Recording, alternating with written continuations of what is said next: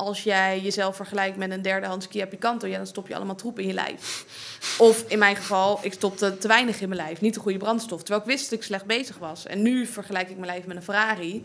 Dan ga je er alleen maar de beste brandstof in stoppen. En dan ga je met de hand wassen. Doe je regelmatig een onderhoudsbeurt. En dan gaat niet alleen maar je voeding veranderen, maar alles in je leven. Dus daarom tolereer ik heel veel dingen niet meer. En ik kan dat ook niet meer tolereren. Dus vandaar dat ik geen tv in mijn huis heb. Ja. Eh, want het, het voelt voor mij niet goed om dan bijvoorbeeld al je ma- ik ken mensen die al hun maaltijden voor de tv eten. Ja, dat gaat er bij mij niet in. Dan krijg ik kortsluiting in mijn brein, je merkt het al. Leuk dat je weer kijkt of luistert naar deze nieuwe aflevering van de Podcast of Hope. We zijn er even tussenuit geweest, maar we zijn weer terug van vakantie. En dit seizoen beginnen we sterk met ex-powerlifter Isabelle Veteris. We gaan het onder andere hebben over hoe zij met haar unieke topsportersmentaliteit anorexia heeft overwonnen en zichzelf heeft omgetoverd tot een ware powerlifter. Podcast of Hope, moving towards happiness. Nou, leuk dat je er bent. Ja, dankjewel voor de uitnodiging. Ja. Eh, onze, onze podcast gaat over geluk. Is dat een onderwerp wat je veel bezighoudt in het dagelijks leven? Nee, ja, ik denk dat geluk meer een resultaat is van hoe je leeft en niet per se een doel aan zich. Dus ik ben er vrij weinig mee bezig. Maar als mensen vragen, ben je gelukkig? Dan denk ik, ja, ik ben eh, hartstikke gelukkig.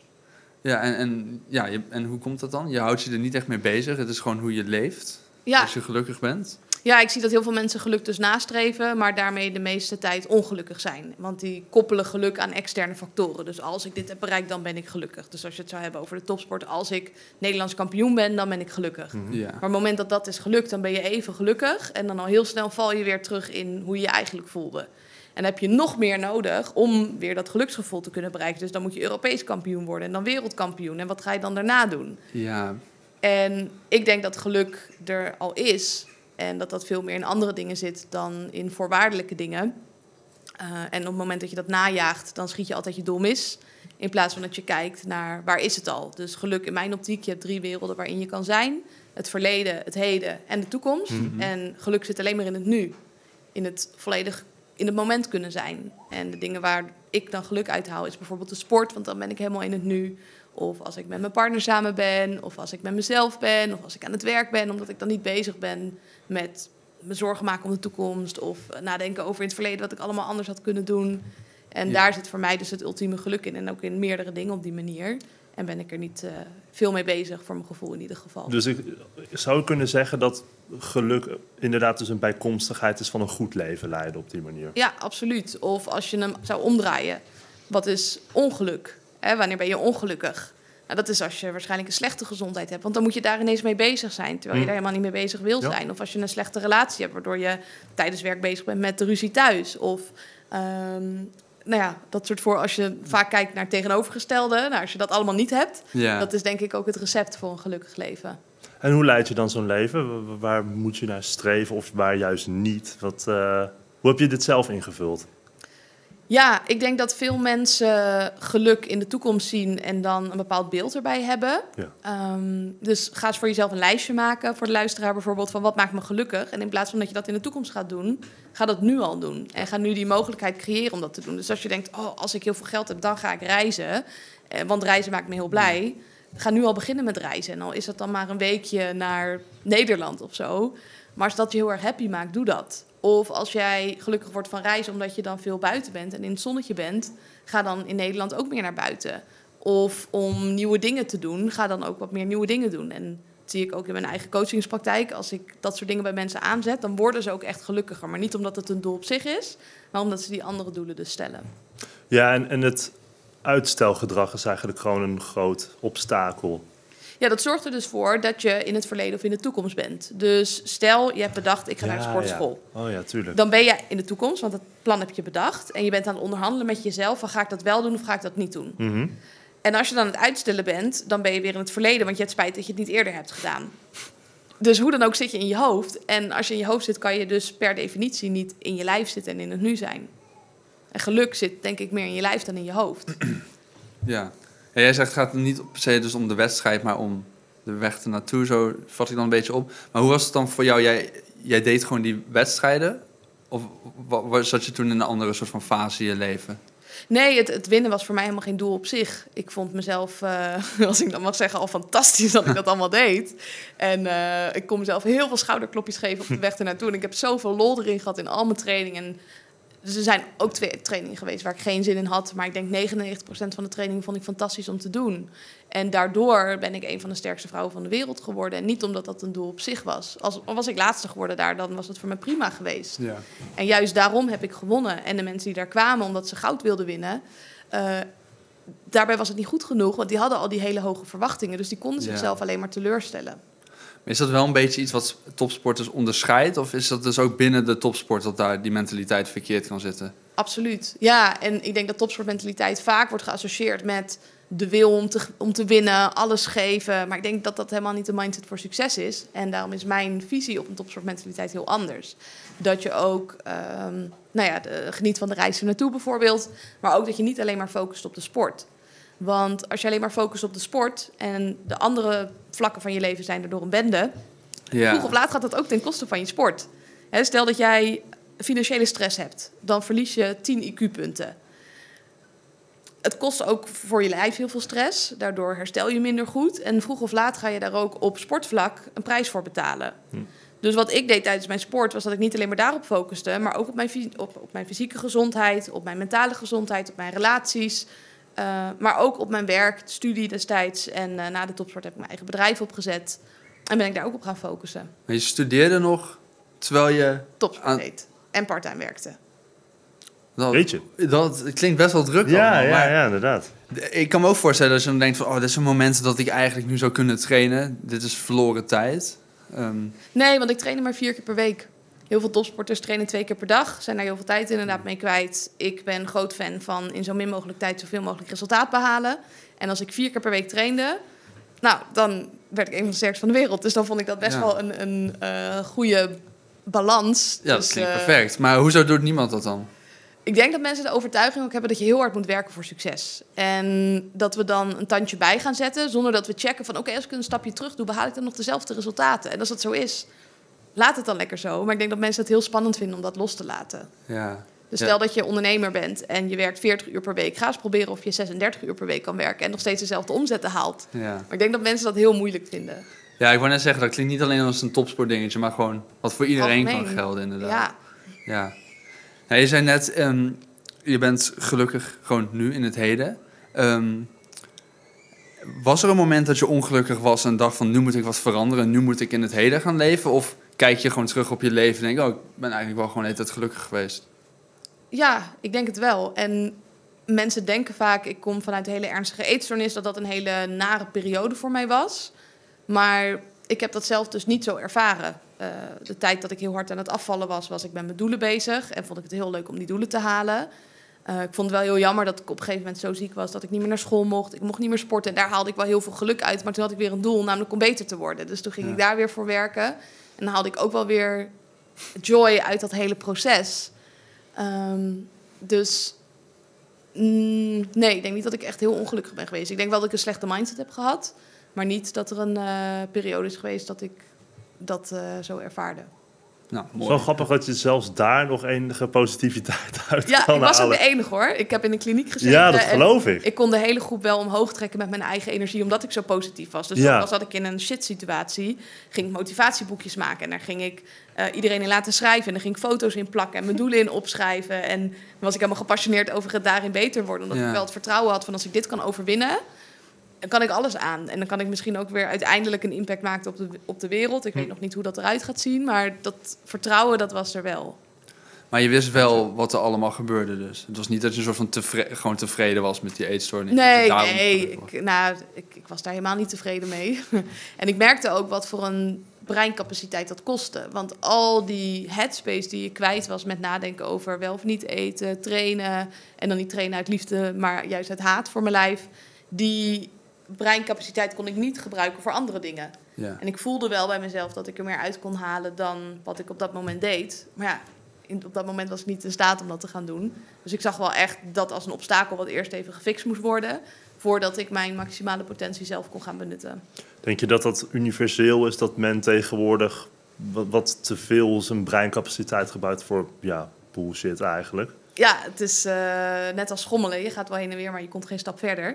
En dat is hoe heel veel mensen eh, denken. We hebben gemiddeld 60.000 tot 80.000 gedachten per dag. 90% van die gedachten, als het niet meer is, is hetzelfde. En het brengt je niet verder. Hoe bedoel je Dus je meer, gewoon dezelfde gedachten de hele tijd.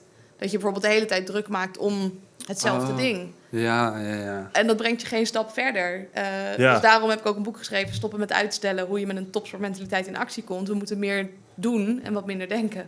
Ja, want dan leg je jezelf inderdaad de hele tijd als een soort mantra negativiteit voor. Dat is inderdaad... En ga het maar vaak genoeg goed. herhalen en dan ga je het ook vanzelf geloven. Ja, Dat je self-fulfilling prophecy wordt het dan eigenlijk. kan. Ja. ja. Ja. En zo'n topsportmentaliteit, hè? Jij moet natuurlijk een boek lezen als je wil weten, denk ik, hoe je dat helemaal moet toepassen. Maar wat houdt dat precies in? Ehm, ja, hoe kun je dat toepassen op jezelf? En misschien dat veel mensen denken, oh, topsportmentaliteit, moet ik nu mijn hele leven gaan omgooien? Nee, en dat vind ik het leuke van mijn eigen boek. Ik leg je ook van A tot Z uit hoe je dat doet. En ik kan daar in deze podcast wel wat meer over vertellen. Uh, dus wat ik al benoemde, die topsportmentaliteit is voor mij dat je ook alles in balans houdt. En niet alleen maar je lijf. Dus dit boek is ook geschreven juist niet voor topsporters, maar voor mensen die meer uit het leven willen halen dan ze nu doen. Ja. Uh, en niet twee keer per dag willen trainen en niet hun hele leven willen omgooien, maar juist in hele kleine stapjes dat willen gaan aanpakken. En mensen die weten van als ik het op basis van motivatie doe, of wilskracht of discipline, dan kom ik er niet, want dat kost alleen maar energie. Maar met mijn methode ga je juist moeiteloos je doelen bereiken. En ook Ja. op alle vlakken van het leven. Dus je gaat niet alleen maar een goede relatie krijgen, maar ook een goed lichaam. En ook op financieel vlak ga je sterk worden. Als je ondernemer bent, gaat je bedrijf groeien. Of in loondienst ga je promotie waarschijnlijk maken. Um, maar vooral ook dat je rust in je hoofd hebt. En ik denk dat dat anno 2022 heel zeldzaam is, maar wel heel belangrijk. Ja, inderdaad. Er zijn al die punten, dingen die als een soort van spinnenweb samen... Helemaal, ja. Je het kan niet los van elkaar zien. Als ik heel negatief over mezelf denk, dan gaat dat ook in relaties terugkeren. Dus dan ga ik bijvoorbeeld een partner uitkiezen die die overtuiging spiegelt. Dus die naar tegen mij doet bijvoorbeeld. Of ik ga heel veel ruzie maken. Hmm. Of als ik mezelf niet goed genoeg vind, ja, dan ga ik allemaal voeding eten die niet goed voor mijn lichaam is. En dan word ik te dik. Of um, in mijn werk ga ik dan niet mikken op een baan die ik heel graag zou willen, want ik vind mezelf toch niet goed genoeg. Dus ik ga een baan kiezen die op zich de rekeningen betaalt, maar waar ik niet Ja. heel happy van word. Ja. Dus ja, ik zie dat dat uh, met elkaar verweven is. Ik denk dat er tegenwoordig wel heel veel mensen zijn die ook een beetje voldaan zijn met hoe het nu is, weet je wel. Wat dan Ah, een beetje... comfortabel. Voldaan. Uh, Ja, misschien niet voldaan, maar comfort. Ja, dat denk ik inderdaad ook. Meestal... Ja, je hebt inderdaad geen gevoel van voldoening dan nee. Maar dus ja, je bent wel comfortabel, je bent niet heel bereid... veel te- mensen zijn te comfortabel. En daarom Ja. blijven ze hangen waar ze nu zijn. En als de pijn groot genoeg is, zoals bij mij mijn eetstoornis, dan ga je wel veranderen. Maar als Ja. die pijn niet groot genoeg is, komen we niet in beweging. Maar zou je dan eigenlijk voor die pijn al de verandering eh, gemaakt willen hebben? Ja, tuurlijk. Eerder eh, het dak repareren als Ja. de zon schijnt dan Ja, het regent. Maar dat kan wel. Komen is beter. Tuurlijk ja. kan dat. Alleen in je eentje is dat heel erg moeilijk. Ja. En daarom denk ik dat het heel fijn is om daar hulp bij te hebben. Bijvoorbeeld van gelijkgestemden of van een mentor of van een coach. Of nou ja, in ieder geval dat je het niet in je eentje hoeft te doen. Omdat de motivatie veel minder is op het moment dat het goed gaat. Maar aan de andere kant, je hoeft niet ziek te zijn om beter te worden. Je kan ook werken daar aan een goede mindset, ook al ben je niet doodongelukkig. Eh, alleen zijn mensen wat minder gemotiveerd om dat te doen.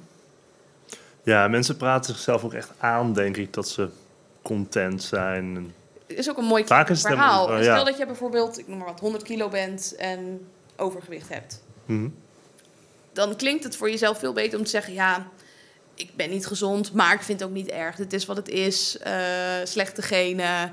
Eh, ik zou ook niet eh, op een blaadje sla willen leven. Dus Nee, ik blijf lekker zo. Dus Ja, je praat precies. het gedrag praat je goed voor jezelf. Ja. Want anders dan moet je jezelf daarin dus mentaal pijn gaan doen. Hm. Want wie je wil zijn en wat je doet, is niet op één lijn. En dat kost heel veel energie. Dus daarom vertellen mensen maar dat ze er content mee zijn, terwijl ze dat eigenlijk helemaal niet zijn. Ja, ja, je zei je hebt pijn nodig voor verandering. En ik denk dat we tegenwoordig wel in een tijd leven. En wat in principe ook goed is, waar we eigenlijk bijna niet meer in contact komen met pijn. Ja, is dat dan goed?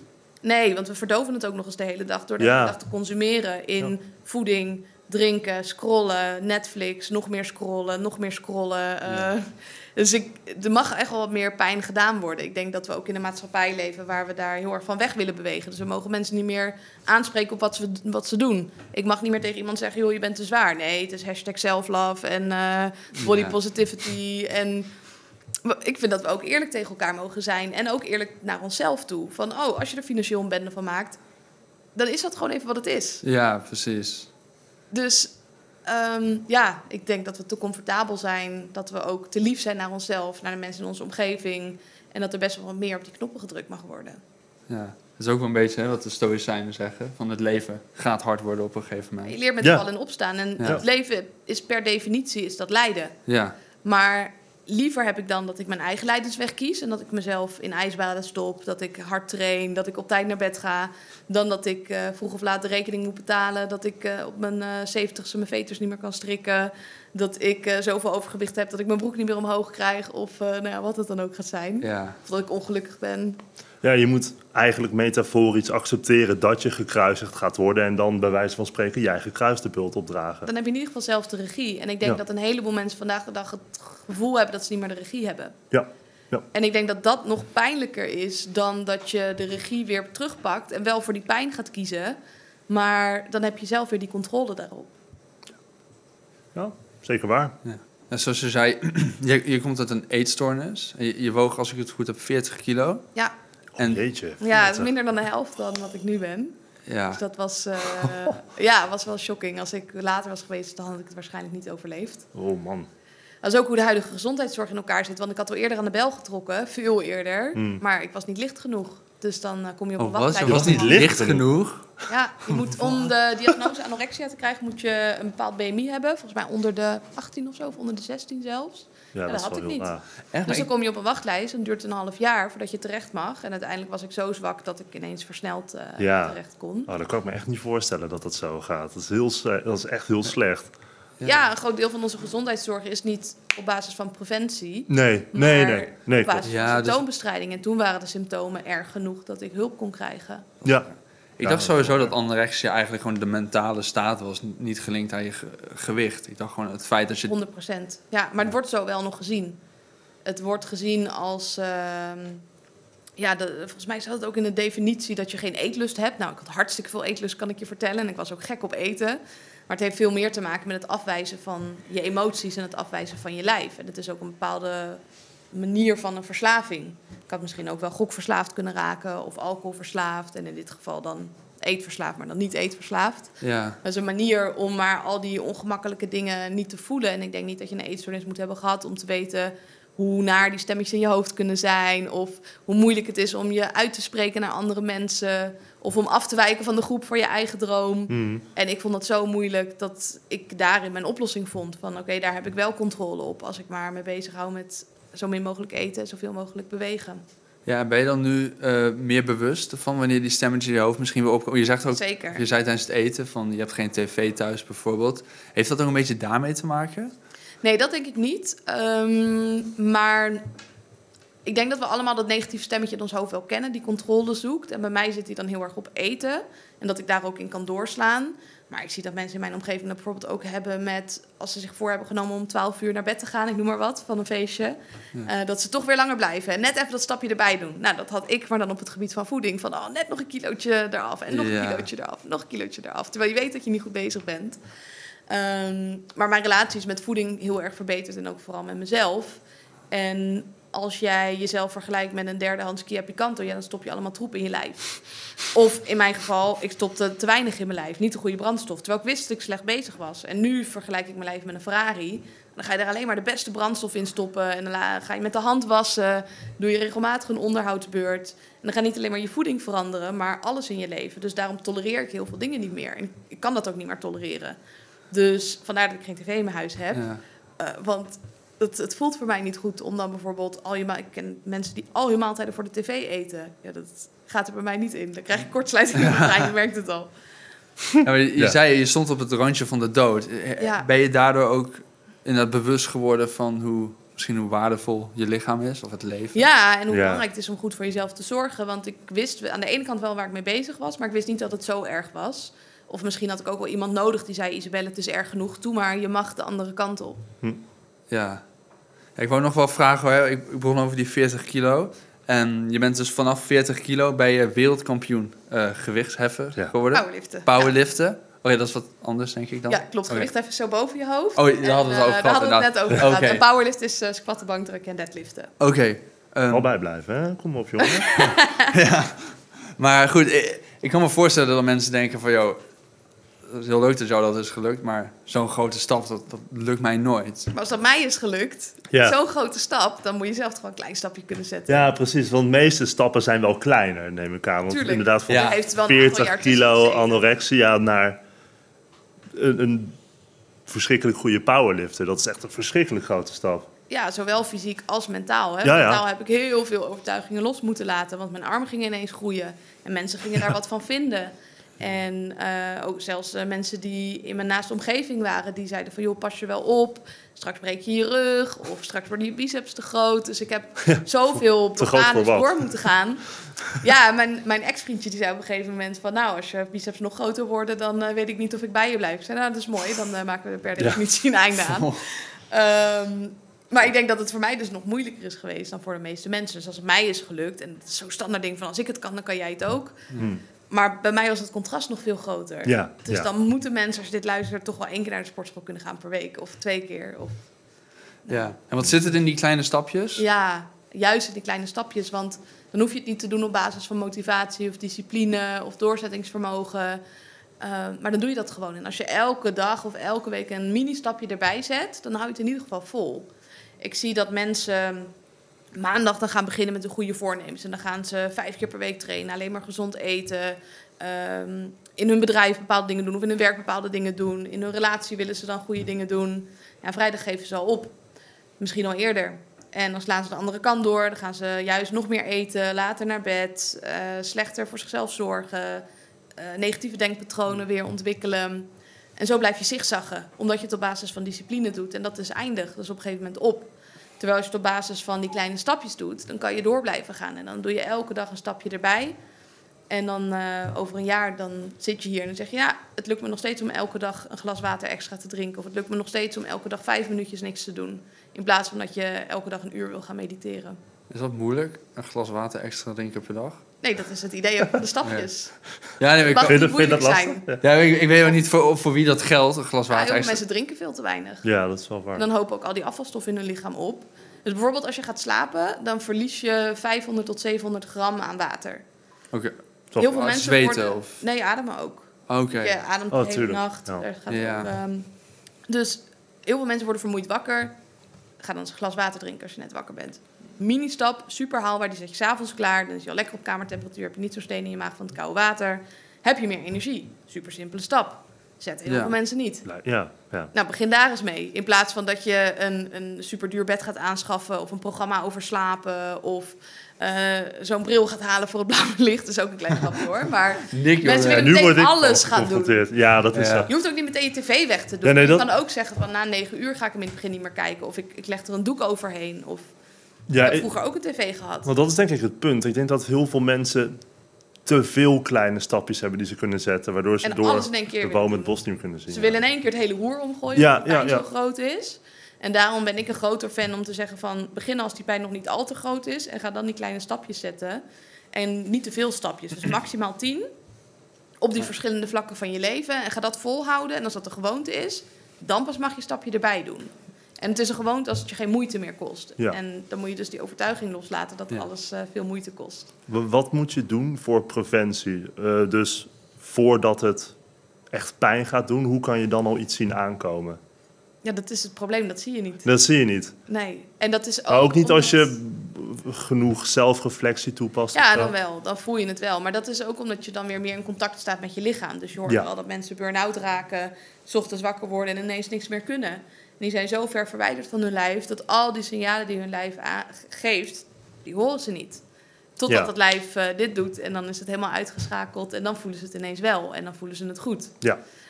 Dus ik denk dat een deel dan zit in het eerder contact maken met je lijf. En gewoon luisteren naar je lijf. Dus al begin je met één minuutje per dag eventjes niks doen... en even voelen in je lijf van oké, hoe voel ik me nou? Ja. Ben ik rustig? Ben ik onrustig? Wat doet mijn ademhaling? Wat doet mijn hartslag? Eh, zit ik in mijn hoofd? Zit ik in mijn lijf? Even Ja. één minuutje. Ga dat eens elke dag doen. En misschien dat je op die manier ook de pijn al wat groter gaat maken bij jezelf. Dat je elke keer tot de conclusie komt, ook voel me eigenlijk onrustig. Ja. Dan moet je dingen gaan doen om jezelf rustiger te maken. Zou je ook kunnen zeggen dat dat gewoon een beetje de realiteit van het leven is? Dat je tegen dingen blijft aanlopen en dan pak je dat aan en dan ga je weer verder. Ja, maar we lopen er nu niet meer tegenaan omdat we constant afgeleid worden. Dus we hebben geen momenten meer van stilte. Ja. Vroeger verveelde je je nog wel eens. Nou, kinderen vandaag de dag weten niet meer wat vervelen is. ja, Als je ergens staat te wachten, pakt iedereen meteen als een telefoontje. En dat zijn Ja. juist die momenten dat je eventjes een momentje voor jezelf hebt. Ja, Weet je, denk, als je onder de Ja. douche staat, dat je dan die inzichten krijgt. En zelfs dan zetten mensen muziek op of een podcast. Of... Ja. Mensen kunnen niet meer alleen zijn met hun eigen gedachten. ja, precies. En ook stiltes in gesprekken. Ja. Dat is dan meteen ongemakkelijk. Terwijl het, het hoeft helemaal niet ongemakkelijk te zijn. We hadden het er net nog over, Ja. inderdaad. Nou ja, kijk, in in een podcast is het wel wat anders, want dan maak je natuurlijk wel iets. Maar ik heb vaak de luisteraars ben- ook nadenken. Dat, Oh ja, zo moet je het zien. Precies. Dat doen we niet voor onszelf, hè? Dat doen we Nee. voor de ander. Ja, gewoon even erbij zeggen. Denk nu even na. precies, precies. Ja, een minuutje nadenken. Nee, maar als ik dat mag meegeven aan de luisteraars, dan ga je gewoon vaker vervelen. Je hoeft niet altijd te weten wat je gaat doen. Plan ook lege momenten in in je agenda. Ja. Dus ik heb in mijn agenda juist de rustmomenten ingepland en niet de momenten dat ik wel wat doe. Dus ik heb elke dag tussen 12 en half twee heb ik pauze. Ik stop om zes uur over het algemeen met werk, met uitzondering van deze podcast. Maar over het algemeen werk ik s'avonds niet. Dat waarderen we trouwens hoor. Ja. Ik heb laatst nog een opdracht juist in de avond afgezegd. Ik dacht, ja, ik ga gewoon niet werken in de avond. Nee, maar ik nee. voel heel erg een ja of een nee. Eh, werk ook niet voor acht uur 's ochtends. Eh, dus ik plan mijn rust in. En dan plan ik ook zo min mogelijk in die rust. Dus mijn weekenden zijn vaak leeg, mijn avonden leeg, mijn pauzes leeg. Nou, soms verveel ik me, soms weet ik wel wat ik wil doen. En juist vanuit die verveling komen de leukste ideeën. Dus vrijdagavond had ik geen planning en toen ben ik een uur karaoke gaan zingen op de bank. dus ja, ik vind dat helemaal Ja. een fantastische avond Ik zie het voor me, ja. ja. ja. ja, dat is ook wel iets wat ik de laatste tijd wel heb geleerd. Om inderdaad eh blij te zijn gewoon alleen, zonder prikkels. En als je dan bijvoorbeeld je trein mist, dan ga je gewoon een stuk lopen. En dan is het helemaal geen ramp. Dan ben je gewoon met jezelf. Dat is heerlijk. Ja. En daardoor zijn prikkels ook intenser. En dan is dat ook genoeg. Dus omdat we de hele dag die prikkels hebben, raken onze dopamine-receptoren nou ja, ongevoelig. Dus we hebben Ja. nog meer prikkels nodig. Dus we Ja. gaan eerst Netflixen en dan is dat niet meer genoeg. En dan moeten we erbij scrollen en dan is dat niet meer genoeg. En dan moeten we er ook nog eens bij eten. Maar gooi eens even al die prikkels weg. En ga ze dan weer herintroduceren. En dan merk je ineens wat het met je doet. Ja. En hoe, een hoe intens het ook is. er doorheen. Oh, ja. Dus Ja. ik ben iedereen ontvolgd op, op Instagram. Oh, Ja, ik volg helemaal niemand meer. TV eruit. Eh, alle rotzooi uit mijn dieet geschrapt. Want dan ga je ineens voelen wat het met je doet. En dan wordt die pijn heel groot. En dan kan je niet meer anders dan... eh, ja, klopt. Ja, Ik heb inderdaad gewoon besloten mijn social media eruit eh, te gooien. Inderdaad, dat is wel... Ja, en alle kinderen effecten van de eigenaren van de apps... die mogen al die apps niet op hun telefoon hebben. Nee, dat Ja, klopt. Dat heb ik... Ja, ja, ja, ja. voor mij, Het is zo Steve- verslavend. Steve Ja. Jobs of zo, die kinderen die hadden geen iPad en zo. Ja. Hij zelf had geen iPad, dat was het. Nee, natuurlijk niet. En zijn Ja. kinderen ook niet volgens mij, nee. Ja, het is wel Het doel van als je, als je een gratis app hebt... is het doel om jou zo lang mogelijk op die app te houden. Ja, het is, jouw data het is intentioneel zo gedesigned inderdaad. Ja, en ik voelde dat al heel snel. Op mijn middelbare school had je die apps nog niet, maar je had wel Pinterest. Ik weet niet of jullie dat kennen, maar je Ja. kan Is dat blijven al- scrollen. Is dat al zo Dat- lang een Dat is ding? best wel een lang ding, ja. Ik vond het heel stressvol en dat voelde ik bij mezelf. Toen dacht ik, ja, dat moet ik niet doen. Dit is heel dom. Zonde van mijn tijd. Ik ga er niks mee doen. Dit zijn allemaal ideeën en inspiratie, maar geen actie. Ken je Snapchat? Ja, Ja, dat, had- dat is al lang geleden hoor, maar dat was op een gegeven moment van die streaks. En als je elke dag een snap naar iemand stuurde, dan Ja. kwam er zo'n streak bij. bleven mensen dat. Ja, dus dan had ik echt 580 en was ik helemaal in de stress, want dan ging ik op vakantie. Dan, dan kon ik geen Snapchat sturen, dus dan moest ik Oh. vrienden, die gingen dan, kregen dan mijn inlogcodes om snaps te Nee. sturen naar mensen. Ik moet een hoog niet zeggend getalletje hebben. Ja, Ja, ja. Zo dat houdt zo, belangrijk. maar dat houdt je zo in, in bedwang bijna. Ja, en heeft Ja. het controle over jou in plaats van dat je de controle hebt over je eigen leven. Ja. En dan stop je ermee en dan heb je opeens zoveel tijd vrij. Dan heb je zoveel Ja, tijd om dingen te doen. Net in de gang zei hij tegen mij van... eh, joh, eh, je doet wel heel erg veel, ben je dan niet druk? Nee, want ik zit niet de gemiddelde vier uur per dag op een scherm. Ja. Dus dan heb ik ineens vier uur per dag over. Nou, wat kan je in die tijd allemaal doen? Ja, ik raak helemaal excited over. Ik denk, ja, zoveel mogelijkheden Ja. Zitten mensen gemiddeld vier uur per dag op een scherm? Oh. Los van werk. Oké, los van werk. Facebook, Ja, ja, ja. Instagram, YouTube, eh, Netflix. YouTube is wel een eh, demon voor mij hoor. Dat is een rabbit hole. Ja. Die vind ik het moeilijkst. ja, die vind ik echt lastig, ja. ja ze doet wel steeds minder. Ja, want daar praat ik mezelf ook wel goed van, oh, ik kijk educatieve Oh, video's. ja, ja, Ja, ja. ja, ja. het klinkt allemaal heel goed. Of Ja. mensen die dan heel veel podcasts luisteren. Of zelfs die persoonlijke ontwikkelingsboeken lezen. Maar het is allemaal inspiratie. En inspiratie zonder actie leidt tot frustratie. En dat is ook weer een vorm van stress. Ja, interessant. Inspiratie zonder actie leidt naar frustratie. Dat vind ik Dan een weet je het wel, maar je doet er niks mee. Nee, is nee, precies. Dat is een dat ja. je er wel wat mee doet. Ja, ja, ja. Ja, ja dan kun je beter Ja, want dan, doe je iets niet om- en dan ja. word je je daar bewust van gemaakt en dan... Ah, Het is hetzelfde als dat je elke dag op de weegschaal gaat staan. En je weet Maar- dat je ja. zwaar bent, maar je gaat niet op dieet. Ja. Als je dat zo zegt, klinkt het heel pijnlijk. dom. Dus kan je ja. beter dat niet meer doen. Ja. En voor jezelf vertellen, oh, ik ben helemaal prima dat ik dik ben. Het is ook Eh, niet goed trouwens. Ook niet goed, nee. of als je elke dag op de weegschaal gaat staan, ben ik ook geen fan van overigens hoor. Maar dat je dan wel aanpassingen gaat maken in je voeding. Ja. ja, je kan beter de aanpassingen maken, maar niet op de weegschaal gaan staan dan op de weegschaal staan. Of één keer in de week of Ja. één keer in de maand om Ja. het een beetje te managen. Maar net zoals eh, dat geluk een gevolg is, is ook het verliezen van gewicht een gevolg van een goede leefstijl. ja. Het zou geen doel ja. op zich moeten zijn. ja, de goede dingen zijn eigenlijk Dat is, de je- gevolgen van goede acties op die Ja, manier. ik zeg altijd, je krijgt wat je verdient. Ja, En mensen willen die beloning hebben, maar omdat ze dat als doel stellen, krijgen ze het niet. Ja. Dus ze willen die gouden medaille, maar die hebben ze niet verdiend. als je kijkt naar het werk wat ze erin hebben gestopt. Ja. Of eh, ze willen een gezond gewicht, maar ja, dat past helemaal niet bij de leefstijl die ze hebben.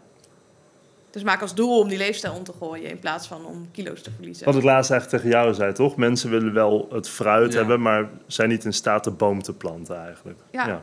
En het geduld te hebben om te wachten, waar Ja, te geven, ja, ja, liefde precies. te geven. Ja. Ja, ja, ik heb dat dus ook wel een beetje. Want dat ging over. We waren toen in de sportschool en ik dacht van. Wanneer begin ik nou een beetje spieren te krijgen? Ik, ben al eh, tien jaar naar de sportschool aan het gaan. Ja, Dus dat eh, kost even tijd. ja, precies. En wanneer begon je te zien? Ook Ja, het is bij mij een beetje vals spelen misschien. Ah. Maar ik, sport al mijn hele leven. Dus ik denk ook dat je daardoor wat meer aanleg hebt. Ehm, en ik heb dus een spierziekte... waardoor mijn spieren bij kou sneller verkrampen... dan bij mensen die dat niet hebben. Mhm. Maar een bijkomstigheid is ook dat ik veel makkelijker spiermassa aanmaak. Oh, Ah. Dus ik eh, had al heel snel een biceps van 40 centimeter. jezus, dat is veel. ik heb een jurkje nu, dan zie je het al minder, maar ze zitten er Zo wel. van Obelix die dan in een eh, pand vol met anabolen is gevallen. Ja, ja ze zeiden ooit tegen mij... je hoeft maar naar een dumbbell te kijken en eh, je hebt Ja, precies. spiermassa. Ja. Nou, Maar dat, dat zei je ook, dat is die visualisatie, Je toch? Die helpt ook. een beetje. Ja, Dat, eh, als ik zo sta op een feestje, zo met mijn armen over elkaar, dan spreken mensen me aan van, oh, jouw onderarmen. Maar misschien is dat ook wel weer mindset, dat je jezelf vertelt dat je dat heel makkelijk aanmaakt en dat dat helpt. Ze hebben ook onderzoek gedaan naar twee groepen mensen. De ene die ging buikspieroefeningen doen en de ander ging alleen maar denken aan buikspieroefeningen en denken dat het effect had. De denkers hadden toch niet meer buikspieren Niet meer, maar Oh, volgens mij wel eh, meer dan de helft dat- ten opzichte van niks doen. Ongelooflijk. Ja, dat is zo gek. Maar ik kan me dat wel Ja. voorstellen. Want dat is een beetje dat idee van... als je lichaam door heeft dat er verandering moet komen... dan gaat het verandering maken. Ja, ja. Maar dat is wel, dat is wel gek. Ja, dit is net wel Dat is met... ook weer het, het construct wat we hebben van hoe het werkt. Hè? Je moet hard werken om dat resultaat te bereiken. Ja. maar wat nou als dat niet zo is? Wat nou als al die overtuigingen niet kloppen? Net zoals waar we het net over hadden over voeding. Ja, ik wou er net over beginnen. Dus Er zijn mensen die leven van licht. En ons rationele brein snapt er helemaal niks van. Omdat we denken, ja, maar we hebben toch eten nodig om te overleven. Ja, maar wat nou als dat niet zo is? En we worden zo opgevoed om te denken in die kaders... in plaats van om erbuiten te kleuren. Ja. Van wat kan er wel en wat kan er niet. In plaats van, oké, nou, ik weet niet hoe het kan... maar misschien is er wel een mogelijkheid. ja, precies. Ja, dan gaat ons rationele brein... die gaat dat helemaal... de excuses bedenken... Oh, dat kan ja, toch dus helemaal niet. mensen zeiden bij mij... het is onmogelijk voor een vrouw om 100 kilo te bankdrukken. Heeft nog nooit een vrouw onder de 23 gedaan in Nederland. En toch deed ik het. Want ik ging Ja. kijken naar, oké... nou ja, blijkbaar is het nog niemand gelukt... maar hoe kan ik ervoor zorgen dat het mij wel lukt? En ik raakte super gepassioneerd over allerlei verschillende technieken... Hm. om meer spieren in je lichaam te gebruiken bij het bankdrukken. Dus niet alleen maar je bovenlichaam, maar dus ook je benen, je billen. Want ik denk, ja, als ik 200 kilo kan deadliften... dan moet ik ook wel 100 kilo kunnen bankdrukken... want mijn benen zijn sterk zat. Ja. Dus toen ging ik dat trainen voor mezelf. En uiteindelijk is mijn record 111 kilo geworden. Eh, en is het wel gelukt. Ik zou het al willen kunnen hoor. ik help je wel een keer. Ja, top. bankdrukken. Maar even als voetnoot... je hebt natuurlijk wel keiveel werk erin gestopt, toch? Ja, Absoluut. Ja. alleen omdat je jezelf vertelt dat het niet kan... Ja. ga je ook het werk er niet in stoppen. Want dan denk je, het is zinloos. In plaats van dat je als een kind het bijna gaat onderzoeken... van, oh, maar misschien is het wel mogelijk. En laat ik dat eens proberen met vallen en opstaan. En misschien kom ik er inderdaad achter dat het niet kan. Maar misschien kom ik erachter dat het wel kan. Vroeger dachten ze ook niet dat mensen konden vliegen. Totdat Ja. iemand bewees dat het wel kon. Ja. En ze zijn het gaan testen en oefenen. En Er is wel een paar gasten van de Eiffeltoren doodgevallen, maar... vallen en opstaan. Maar Dat Ja. offer hoort erbij, hè? Ja. Ja. Ah, je had het net ook een beetje over de eenheid met je lichaam. Eh, doe je ook aan mediteren? Ik weet dat je dat ijsbad doet. Ja, Draagt dat daar ook een beetje aan bij? Ja. Ja. zeker. Dus het, eh, we hadden het ook over quick fixes. Ja. IJsbad vind ik een quick fix om rust in je hoofd te krijgen. Want je moet wel focussen op je, op je ademhaling. En je moet wel focussen op je lijf. eh, om dat onder controle te krijgen. Dus dat werkt voor mij als super meditatief. Maar ik heb ook regelmatig mijn momentjes dat ik niks doe. Ja, ik ga niet op een meditatiepoef zitten en oomgeluiden maken. Maar ik zit regelmatig op de bank niks te doen. Dat Ja. is voor mij ook een vorm van mediteren. Want als je mediteert, doe je ook weer wat. Hè? Dan ben je ook weer je gedachten aan het sturen dat je niks mag doen. Of juist aan iets moet denken. Of visualisatie. Doe ik ook allemaal. Maar ik denk dat er veel meer waarde zit in het uh, ja, gewoon lekker uh, lummelen. Ja, en denk je ook een beetje zoeken wat voor je werkt. Precies. Je eigen methode, een beetje, een beetje aanpassen. Ja. Ja. Maar is het ook zo als je bij meditatie actief je hoofd probeert leeg te maken, dat dat dan doorwerkt? Als je dan bijvoorbeeld niks aan het doen bent, dat er niet opeens allemaal rare gedachten opkomen of zo? Ja, dat, ik, dat zal ongetwijfeld werken. En ik heb ook gemediteerd en dat geoefend voor mezelf. Ja. Uh, ik zie dat ook echt als training, zodat je in het dagelijks leven ook beter in het nu kan zijn. Ja, ja. Maar aan de andere kant is het ook goed om juist in je hoofd te zitten en maar eens te ervaren hoe vervelend dat is. En dan dat die pijn groot genoeg is dat je denkt, maar dit wil ik helemaal niet. Ja. En dan vind je die knop om het ook uit te zetten. Ja. En dat is een knop die je omzet in plaats van een spier die je aan het trainen bent. Dus dat heeft voor mij veel beter gewerkt. Om, we hadden het net ook over die plantmedicijnen. De eerste keer dat ik een plantmedicijn nam, zat ik alleen maar in mijn hoofd. En was ik alleen maar aan het vechten en heel veel gedachten. En toen dacht ik, ja, wat ben ik nou aan het doen? En dit doe ik waarschijnlijk ook op bepaalde vlakken in mijn leven. En toen Hm. vond ik ineens die knop om dat uit te zetten. En die kon ik toen ook uh, copy-pasten naar mijn dagelijkse leven. Waardoor ik dus meer rust in mijn hoofd kreeg. Hmm.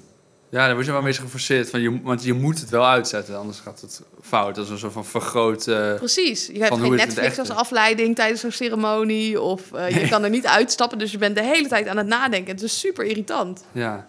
ja, dus het is een soort van uh, vergrote versie van hoe het in het echt is, een beetje. Exact. Ja, dat is wel interessant. Ja. Dus ja, ik mediteer. Um, maar ik doe dat niet zoals sommige geluksgoeroes. Nee. Twee uur per dag. Uh, dat is wel wat lang, hè? Ja. ik, moet, ja, ik, ik heb zoveel passies. Dat dat, ja, ik snap nee, dat sommige mensen dat, dat heel fijn vinden of nodig hebben. Uh, maar ik word er niet zo happy van. Nee, als je de tijd er gewoon niet voor kan vinden, dan... Ja, wil maken. Denk ja, ik. wil maken, dat is natuurlijk... Ik denk dat het ook wel een kwestie is van prioriteit. Maar voor mij heeft dat dus niet zo heel veel prioriteit. Nee, natuurlijk. En ben ik veel meer fan van veel verschillende dingen doen. En allemaal dan een beetje. En dan dusdanig dat je wel het optimale resultaat ermee haalt. Ja. En dan ga ik liever twee minuten in dat ijsbad zitten. Want dan heb ik hetzelfde effect qua ja, rust. alleen dan in twee minuten. Ja. Slim. Ja. En zijn er nog mensen die jou inspireren? Je, je hebt best wel veel ideeën. Mensen die jou misschien hebben geholpen tot op die ideeën komen? Of? Ja, in het ondernemen heb ik heel veel inspiratie opgedaan van Ilke de Boer. Dat is een van de beste internetondernemers in mijn optiek. Uh, nou, Janneke heeft hier al aan tafel gezeten. Ja. Daar spreek ik heel veel mee. En met Veri ook over vrouwelijke energie, over spiritualiteit. Maar ik merk ook dat ik heel veel inzichten uit mezelf haal. Of misschien ben ik dat niet, maar het hogere. Maar juist door even niks te doen, dat je daaruit kan tappen. Ja. Um, ik merk dat ik daar gewoon heel veel uithaal. Mensen vragen me eens, ik deel heel veel via Instagram en via mijn podcasten. Van hoe kom je daar dan op? Ja, echt door die stiltes. Door niks Hm. te doen en dat uit jezelf te halen in plaats van andere mensen daarin te volgen. Geloof je in iets hogers dan? Ja, absoluut. Ik heb alleen geen idee hoe dat eruit ziet. Ja. Maar ik, heb het, ik voel het en ik weet het. En Hmm. ik was vandaag ook buiten aan het lopen. En zeker als je 100% aanwezig bent, dan zie je de mooie kleuren Ja. en de blaadjes die bewegen bij de bomen. En ik denk, ja, er moet wel iets meer zijn. Het Ja. kan bijna niet anders. Het is ook een stukje ego dat we zelf denken: nee, wij zijn het hoogste. Er is geen God die nog boven ons staat. Het kan toch niet? En ik heb toch die controle. Ja. Maar ik denk dat het juist heel mooi is om te beseffen dat je nederig bent. En dat je onderdeel bent van iets groters. En dat betekent dus niet dat je geen topprestaties kan leveren. Want ik zie juist bij de mensen die geloven in iets hogers... dat die hele goede prestaties leveren. En tegelijkertijd ook oud worden, goede relaties hebben, et cetera. Eh, omdat je op je pad wandelt. Hmm. Ja, daar ben ik het helemaal met je eens. Want je ziet wel Ja. met het wegvallen van geloof dat dingen als eh, hoogmoed en zo, dat dat groter wordt. Omdat je inderdaad nu opeens het hoogste bent. Wij mensen zijn nu opeens het hoogste in het universum. Ja, en hoogmoed, ik, ik geloof daar niet zo in. Ik denk dat dat meer een verkapte vorm is van onzekerheid. En dan doe je maar alsof je arrogant bent. Ja, ja, ja, ja. Ja, dat is het over het algemeen wel, hè? Want ik denk dat het juist heel veel vertrouwen geeft als je in iets groters gelooft. En dat je gelooft dat dingen de bedoeling zijn. Dus in mijn eetstoornis geloofde ik ook dat dit een les was. En dat ik hier wat uit ging halen. Ja. En als je gelooft dat jij het hoogste bent, dan zie je dat eerder... ehm, ja, dan vraag je je af, waarom heb ik dit? Ja, waarom Dan schiet je in die slachtofferrol. En- Ja, dat- precies. ja. Of als ik dan eh, topsporter ben geworden en ik heb die gouden medaille... ik denk, ja, ik ben helemaal fantastisch en ik rock dit... en ik ben beter dan iedereen hier. Nee, dat is niet zo. Ja, dat is wel interessant. Maar je moet inderdaad wel, hè, als je dan denkt van die eetstoornis, dit is dan het lot misschien. Maar dat je inderdaad wel, omdat er dan nog wat positiefs uit te halen valt, niet. Eh, Het zit me allemaal tegen, het is de bedoeling, ik ben gewoon Het heeft, verdoemd. het heeft denk ik een reden gehad. Al is het misschien om mijn ouders dichter bij elkaar te krijgen... of om mij een les te leren... of eh, zodat mensen over hun emoties gingen praten. Het, het gaat ook niet altijd over mij. Misschien gaat het wel over anderen. Ja, Ik geloof dat we ook hier op deze aarde komen met een bepaalde purpose. En dat kan ook zijn om trauma's van anderen te helen... of om zelf een bepaalde groei door te maken... of om een bijdrage te leveren. En dat bepaal je niet altijd zelf. Ja, is dat ook waarom je doet wat je doet? Waarom je nu hier zit, waarom je boeken schrijft, waarom je mensen coacht? Ja, dat is niet voor mezelf. Nee. Ik word er heel happy van, daar niet van. Maar Ja. ik voel dat dat de bedoeling is. Dat mijn purpose is om mensen te helpen. En om mensen daarin te leren wat ik heb geleerd. Maar vooral om te tappen uit mijn energie. Dus zo kijk ik ook naar coaching en podcasten. En als ik preek voor groepen, dan kunnen ze eventjes mijn energie voelen. En daarin worden meegenomen. En dat ze daardoor ook in die actiestand komen. En dan hoef je dat ook dus niet te doen op basis van nadenken. Maar dan ga je gewoon, omdat ik een soort een Duracell batterijtje ben. Dus dat duwt je in de richting. Ja. weet ik Die gaat niet gewoon niet leeg. Wat, Ja, ja, en als je daaruit kan tappen doordat je contact met mij maakt, dan is dat denk ik magisch. Ja. En ik voel dat dat heel erg mijn Ja. missie is. Want ik heb zoveel. Je kan het vergelijken met een glas water. Als ik vanuit dit glas ga geven, dan geef ik vanuit schaarste. Maar ga ik dat bijvullen met deze fles en alles wat over is, wat overstroomt, dat ga ik weggeven. Dan geef ik vanuit overvloed. En dan kan ik blijven Ja. geven. En dat is heel erg hoe ik mijn levensmissie zie. Dat ik mijn glas zo vol heb gemaakt, dat ik dus ook aan andere mensen kan geven. Ja, mooi. Denk je dat het iedereen's taak is om bij te dragen en te geven? Nee, natuurlijk niet. Iedereen heeft zijn eigen purpose. Sommigen, nou, misschien op kleinere schaal. Dus ik denk dat bij sommigen ook wel de purpose is om moeder te worden. En dat, dat is wat het is. Ja, dat is ook En dan zullen mensen zeggen, en ja, geven. maar moet je dan niet werken? Moet je dan niet dit doen? Nee, want misschien als jij moeder bent, ga je fantastische kinderen opvoeden. Of Ja. kan je je partner heel goed ondersteunen in de impact die die aan het maken is. Misschien is jouw purpose helemaal niet om mensen te helpen, maar ga je iets, een product ontwikkelen of een nieuwe technologie bedenken. Ja. Dus eigenlijk wel. Ja, indirect dan help je mensen Ja, wel ja, ja. op kleinere schaal. Maar ja, zo zou je hem wel kunnen stellen. Maar ik denk dat de een dat groter mm, gaat doen dan de ander. Ja, ja. ja ook afhankelijk van hun eigen energieveld. Ik denk dat ik van mezelf hele grote, sterke energie heb. En dan kan je dat ook dragen. Bij anderen is dat wat kleiner. En die zullen dat op kleinere schaal dan ook doen. ja, je zegt sterke energie. En we moeten er niet te lang over hebben, want we zijn al bijna op de tijd. Maar je, je noemt jezelf ook een, een, een powerpsycholoog. Ja, Ja, wat, wat, wat bedoel je precies met powerpsycholoog? Heeft dat een beetje daarmee te maken? Ja, nou, als ik het stereotype heb van psycholoog, dan zie ik, ik heb daar zelf ook bij gezeten. Dan eh, lig je op de bank en dan moet je gaan praten over je Ja. problemen, wat er allemaal naar is. En die psycholoog zelf, die begint nog net niet over de eigen problemen. Nou, dat zijn geen powerpsychologen. en eh, integriteit is mijn nummer één kernwaarde. Dus practice what you preach. Doe Ja. het zelf ook. En ik doe het allemaal. En daardoor kan ik mensen daarin meetrekken. Eh, in plaats van dat ik ze die pijn in moet duwen en vanuit daar omhoog kan krijgen. Want meestal werkt dat niet. Ehm, dus vandaar eh powerpsycholoog om ook aan te geven. Ik ben niet zoals de meeste psychologen. Ik ben ook helemaal niet zoals de meeste coaches. Maar ik denk dat je dat vooral moet ervaren voordat je dan eh, ja, begrijpt wat ik daarmee bedoel. Ja, cool. Ja, dat is wel vet inderdaad. Maar je, hebt, je ziet dat heel vaak bij psychologen, maar ook bij bijvoorbeeld dokters of zo. Die zie je veel vaker roken dan bijvoorbeeld andere mensen. Dat is heel raar eigenlijk. Is ook een heel stressvol beroep. Ja, dat, dat is ook zo. Dat is ook zo. Ja. ja. maar dan zijn juist die mensen die heel snel iets ongezonds... Ja, Doen. artsen roken, diëtisten zijn te dik. Dat Ja, ja, ja, dat is heel apart. staat Heel niet apart. zo hoog in de kernwaarden van veel mensen. En daarom staat hij bij mij juist zo hoog. Ja, ik vind het zelf ook wel heel belangrijk. Ja, als Ja. ik een coach heb, dan wil ik ook dat hij hetgene wat hij doet zelf doet. Of eh, hetgene wat hij doet, dat hij dat dan weer aan mij leert en andersom. Eh, of als ik naar een personal trainer ga, dan ga ik niet naar iemand die te dik is. Of als ik een coach zocht voor mijn topsport.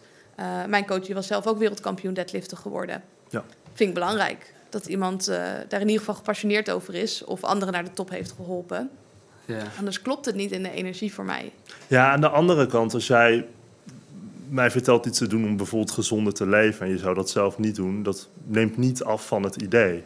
Nee, klopt. En toch, in de energie is het anders. Ja, Dat dat, het overbrengt. ja, dat, ja, en ook hoe je het dan zelf opneemt. Hoe je ja, dat zelf waarom eh, bijvoorbeeld een Michael Pilacic? Die vertelt niet zo heel veel anders dan de meeste mindset coaches. En toch heeft hij een mega publiek. Omdat hij het brengt met een bepaalde energie. Hmm. En omdat hij dat zelf Hij doet ook het zelf doet. wel, ja. Ja, Ja. ja het, is, het is gewoon geloofwaardiger inderdaad. Ja. Dat is zo, ja. Precies. Nou, dan wilden we tenslotte nog vragen over jouw voorwerp.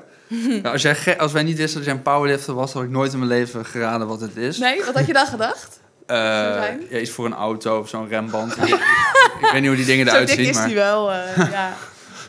maar w- w- wat is het? Ja, eh, dit de is mensen. een eh, powerlift riem. Dus op het moment, ik zette hem in bij squatten en bij deadliften. Je ziet het niet zo goed op de foto. Maar eh, je buikspieren zijn je zwakste schakel bij die liften. En op die manier kan je je buik tegen de riem aandrukken. Ja. En is je hele core beschermd. Eh, waardoor als je een minimale afwijking hebt, je niet door je rug gaat. Dus dit is vooral voor de bescherming. Oké. Eh, het is niet dat je, ja, je kan er wel meer kilo's door tillen, omdat je buikspieren niet meer de beperkende factor zijn. Maar het is niet dat je hierdoor ineens heel veel sterker bent of zo. Een beetje veiligheid ook. Ja, en ik vind deze riem extra bijzonder, want ik had eigenlijk een andere riem. Op die foto had ik die om, maar dat zie je niet. Mhm. Eh, maar toen ik naar het WK ging, moest je aan een bepaalde standaard voldoen. ja. Deze riem moest je hebben voor het WK. En daar staat hij dan Ah. ook wel symbool voor die gebaande paden in de, in de topsport, die kaders waar je aan moest voldoen. Wat ook bij mij een reden is geweest om te stoppen, omdat ik dat helemaal niet wilde. Dat ik het met heel veel dingen niet eens was, Ja. Mm. wat ik niet snapte. En ik snap dat, eh, ja, dat er regels zijn. Maar ik vond het heel moeilijk om me eraan te houden. Dus daarom ben ik maar gaan ondernemen. Dan mag ik mijn eigen regels bepalen. Ja, leuk. ja. Ja, dus leuk. vandaar. Ik eh, heb hem nog steeds boven op mijn kast liggen. En eh, denk nog met veel plezier aan die tijd terug. Maar ik zou niet meer terug willen.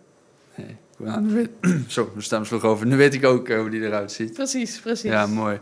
Nou, dat is wel een beetje het einde. We vragen altijd aan onze gasten als afsluitvraag eh, of ze nog een tip hebben voor de mensen die luisteren. En misschien waar ze gelukkig van kunnen worden, inspiratie uit kunnen halen. Ja, ga wat doen. Ga elke dag twee minuten niks doen voor de komende week. En kijk eens wat dat doet. Eh, begin met een klein stapje dus. Ja. Ik denk dat dit een hele mooie stap is voor veel mensen. En al best uitdagend. ja, nou, mooi. Ja, Ja, daar wil ik mee afsluiten. goede tip. Dankjewel. Ja, heel erg bedankt dat je langs bent gekomen. Ja, dankjewel voor de uitnodiging. Ja, top. Bedankt voor het kijken of luisteren naar deze aflevering van de Podcast of Hoop. We hopen dat je ervan hebt genoten of misschien wel geïnspireerd door bent geraakt. Iedere zondag om 10 uur komt er een nieuwe aflevering online op YouTube, Spotify en op al je andere favoriete podcast-apps. Ook kun je ons vinden op www.podcastofhoop.nl. Tot ziens en veel geluk. De wereld waarin we leven biedt nog geen gelijke kansen. Voldoende eten en drinken. Een adequate opleiding. Goede gezondheidszorg. Vrede en geluk is niet voor iedereen weggelegd. Maar stap voor stap wordt het beter. En zijn we op weg naar een octopische samenleving waarin iedereen zijn of haar leven als goed kan beschouwen. Het is een lange reis, maar we zijn op weg. Podcast of Hope. Moving towards happiness.